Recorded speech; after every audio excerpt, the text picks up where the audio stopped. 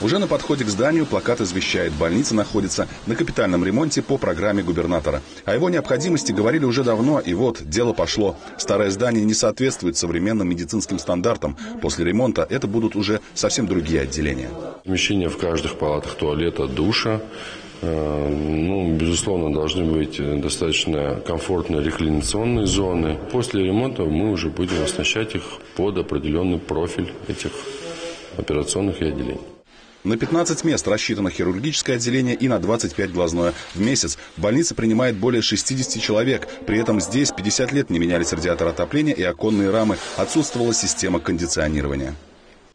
Там, где раньше были стерильные операционные, теперь мусор и разруха. В настоящий момент со стен и полов удаляют старое покрытие. Каким будет обновленное отделение, пока можно только гадать, но масштаб работ впечатляет.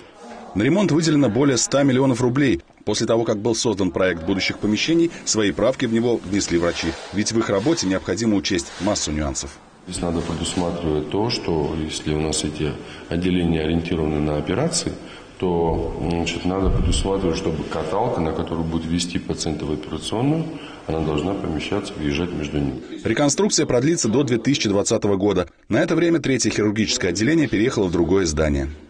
Идет ремонт и в помещении офтальмологии. О прошлом здесь напоминает только вот этот настенный календарь, кстати, за 2019 год. Сейчас здесь тоже неприглядная картина, но после ремонта тут все будет в буквальном смысле радовать глаз.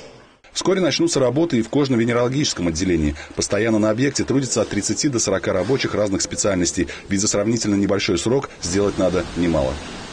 Контракт большой на, пол, на проведение полного капитального ремонта с заменой всех инженерных систем, системы вентиляции, общестроительных работ, фасадные работы, входная группа. То есть полный капитальный ремонт. После нашего ухода здесь будет ну, новое здание.